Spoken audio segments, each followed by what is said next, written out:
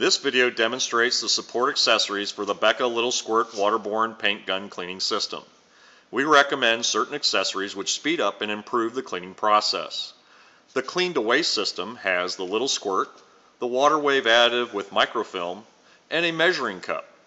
We also recommend a cleaning station with splash pad, tool tray, and cleaning brush, and our air kit which has two air hoses with a blow-off gun and power clean high flow quick disconnect. The optional drum funnel has an extension so it can be attached to a drum not available from Becca for waterborne waste and still fit a cleaning station. To minimize waste, we recommend the Clean to Recycle system. It has all the items in the Clean to Waste system, plus it has the following recommended optional accessories. An electric heat tank with hand pump needed for recycling, and the Becca Offline Clarifier Recycling System. And finally, we recommend the Becca H2O Dry Waterborne Waste Drying Package.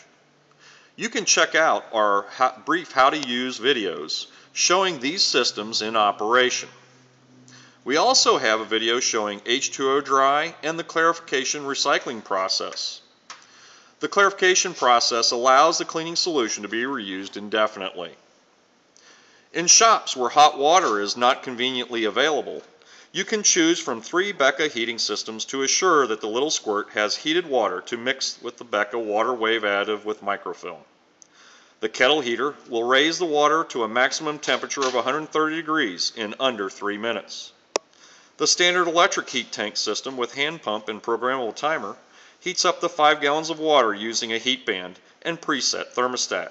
You simply fill the tank with water and add one bottle of Becca water wave additive with microfilm.